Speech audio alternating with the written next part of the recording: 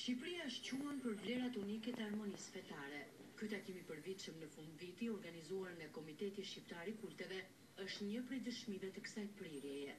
Në këtë takim, ishte i pranishëm dhe Presidenti i Republikës Bujar Nishani që vlerësoi posaçërisht, mesazhin që reflekton bashkëjetesa në harmoni e feve në Shqipëri edhe në rajon.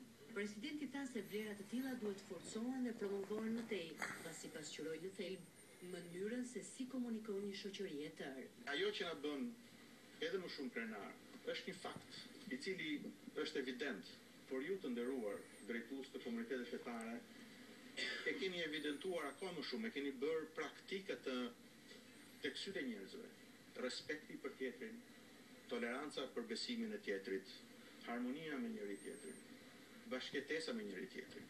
Kombi shqiptar ka mjaft tradita, virtyte.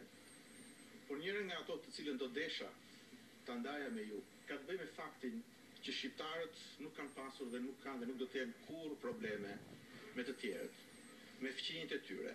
Ftesa për këtë tryezë të paqtë u ishte drejtuar dhe përfaqësuesve të partive politike, kryetarëve të grupeve parlamentare të Partisë Demokratike dhe asaj Socialiste dhe ministrit të Kulturës.